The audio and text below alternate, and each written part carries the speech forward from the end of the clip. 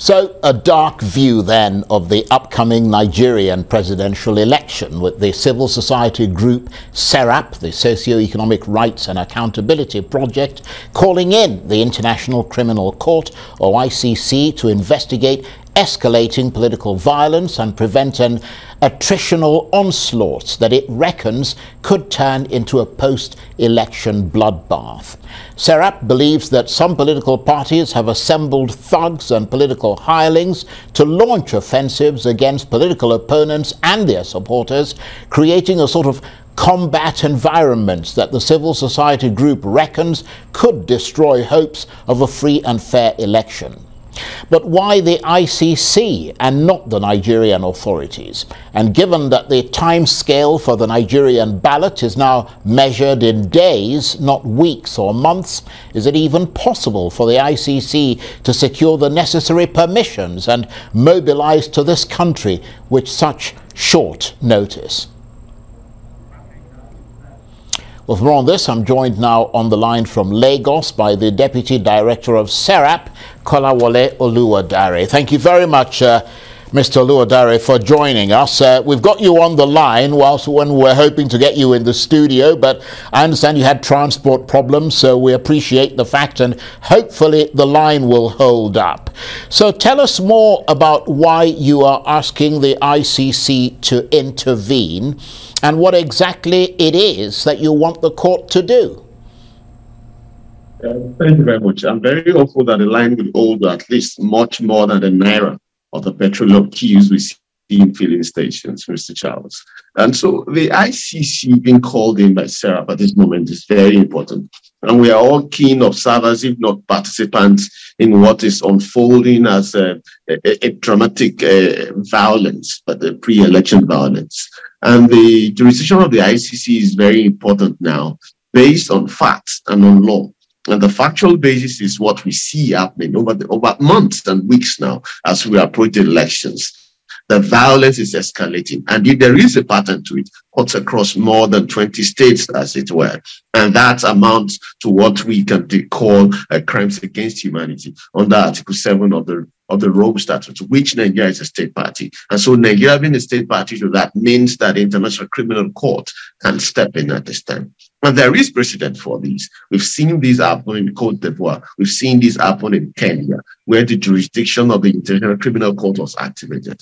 And in this instance, the call presently is for the prosecutor, the office of the prosecutor, which is an independent body apart from the pre-trial and trial chambers, to send in a legal team that will investigate the growing cases of pre-electoral violence and ensure that they participate, as it were, in the elections, observing elections itself, to be able to ensure that the uh, pre-electoral violence is, is stopped. And at the least, if the violence continues, it means that the prosecutor will have the much needed evidence that he will need to prosecute those that are perpetrating this violence. And this is very important because the Nigerian state has shown an unwillingness to either investigate or prosecute these um, uh, perpetrators of violence. And that in itself activates the jurisdiction of the International Criminal Court by virtue of Article 15 of, of, of the Rome Statute.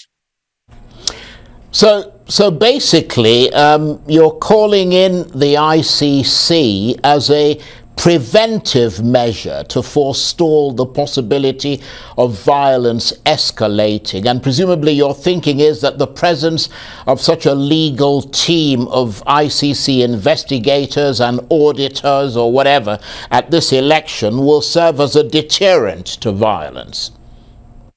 Uh, yes, naturally. And that is one of the key reasons why in democracies all over the world and elections, we have international observers who are on ground not only to be able to carry out an objective assessment of how the election went, but to be on ground as well to forestall those who may want to play uh, uh, unfair at the elections. And so having the International Criminal Court on ground at this time, we will be able to allow the prosecutor to have a real feel of things on the ground and activate the jurisdiction of the court uh, to investigate and prosecute those who might be culpable. Having regard to the fact that Nigerian state have shown an unwillingness to either investigate or prosecute these individuals. So it is very good as a preventive measure And uh, even if it progresses, it means that the International Criminal Court will have the much needed evidence because they will be part of the elections themselves, observing to prosecute those who may continue to perpetrate violence either during the elections the elections. And I have mentioned these have been done in Kenya and these have been done in Cote d'Ivoire uh, with good results, by the way. Yes, but, but that, that's the point I wanted to raise because you suggest that there is precedent uh, in this request. But I mean, it sounds as if it's unprecedented because it's not usual, is it, for the ICC to send in auditors or investigators to monitor post election violence before it happens? No, no, no, we need to understand the context of the jurisdiction of the International Criminal Court. The context that we are inviting the International Criminal Court is that of crimes against humanity. And we've seen the patterns of the violence, including the deaths and the fatalities. It matches the description of what can be termed as crimes against humanity in Article 7 of the Rome Statute. So we are calling in the ICC to that investigative power of the prosecutor to bring it to bear now, not majorly as to observe elections, but because of the violence and the crimes against humanity that is going on presently, and that we fear is likely to grow and escalate uh, to post-election violence. And we've seen that happen in other African countries as well. I'm talking about the pre uh, and post election violence. So if they're on ground now, the investigations they're able to carry out be able to pinpoint individuals and possibly the public institutions that are culpable in this instance. And that will be the preventive aspect. And if this violence continues, at least at the minimum, the International Criminal Court will be able to have individuals uh, gather evidence against individuals who are uh, actors in this violence to be able to ensure that they face justice post elections if the violence continues.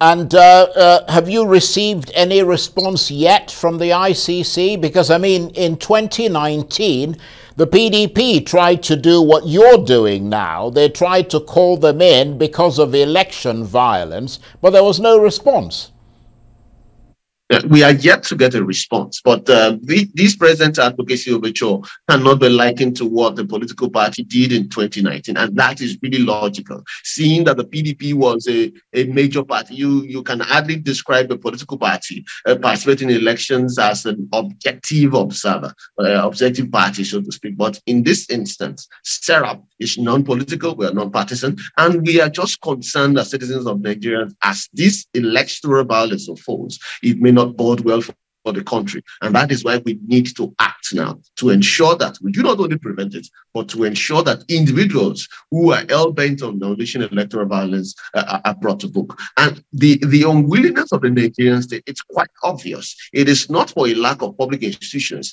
that could either prevent the violence or make sure that people who are doing these are brought to justice. And it's not the absence of laws either. The Electoral Act is very clear on what pertains, uh, what, what electoral violence means. For instance, Section 160 16 and section 128 describes the various acts that are taking place over the weekend in Lagos, for instance, as electoral, as acts of electoral violence, and they are criminal acts by the way. And INEC is statutorily empowered to even prosecute uh, people that have been found culpable. But what we have seen is that nothing is happening. People get more emboldened day by day to carry out these attacks, including those who are public officers themselves. And we do not want this to continue. That is why it's very important to activate these means now uh, to prevent this ugly trend. But I mean, doesn't the ICC need the cooperation and the assent of the governments to come into a country? I mean, it, it can't just come in unbidden of its own accord, can it? Uh, the prosecutor, as an independent office, has the powers uh, to investigate, commence an in investigation. And in this instance, as the procedure goes under the various regulations of the ICC, the prosecutor will approach the pre-trial chambers for authorization to open an investigation. It's very important to note that what we're asking uh, the prosecutor to do and what he has powers to do now is the investigative stage. And while the consent of the Nigerian government is needed in principle, it is not needed in fact, because Nigeria has ratified, as it were, and uh, is a member of the Rome Statute in 2001. It means they are bound by the jurisdiction and even the judgment of the International Criminal Court. So what is needed right now is not the consent, or as it were, the cooperation of the Nigerian state. What is needed is do we have enough facts to convince the office of the prosecutor in the International Criminal Court that crimes against humanity is taking place and is likely to escalate. If that question is answered in the affirmative, yes, the prosecutor has every need uh, and has every power to do so. And I really do not see the Nigerian State Party refusing to do so. It would amount to a breach of international law, really, for Nigeria to decline in this instance. And if the ICC, I mean, I know you touched on this peripherally um, at the outset, but if the ICC, in replying to your request, says to you, why ask us? I mean, why not ask the Nigerian police and the Nigerian authorities? What would your response be? Um, it is unlikely that this kind of thing would happen. It is a scenario that might happen, and it is captured well in this in the in the Rome Statute. So, uh, what it will play is what is called the complementarity principle. It means the jurisdiction of the International Criminal Court does not replace uh, that of uh, the local institutions, but it would have jurisdiction when clearly uh, these institutions either do not uh, or cannot or act to prevent the Right, okay. I think we just uh, lost Mr. Kolawole there. Um, I, am not quite sure what, what, what happened, uh, but we seem to have lost him for a minute. But we will obviously try and go back uh, straight away to try and get him. I mean, the line was holding up rather well there, so I'm rather mortally disappointed that he's vanished. Um, but he was making some very salient points and uh, points that suggest according to his argument, that they do have a point in trying to convince the ICC to bring their team down to Nigeria to carry out um, an, an investigation, a preliminary as well as a preventive investigation to try and forestall what they argue could be a post-election bloodbath in Nigeria the way things are going, I mean, I, I have to say that um, much as I don't entirely agree that that you know things are degenerating to the level that they're suggesting that it is, but it certainly seems to be heading that way because we've seen what appears to be, uh, in, certainly in the last few days, almost daily occurrence of violence. Um, the, the picture you were looking at there on the screen is from that Lagos rally held by the PDP uh, on Saturday, in which um, many people um, who were supporters of the PDP were attacked by sort of people armed with machetes and and um, and guns, and uh, many of them quite badly hurt and uh, had to go to hospital. Of course, the the uh, amount of damage, I mean, many cars were destroyed, buses, and so on and so forth. And um, the, the, the Labour Party are estimating that, I mean, the, the cost um, in terms of damage to property is certainly in the tens of millions of naira.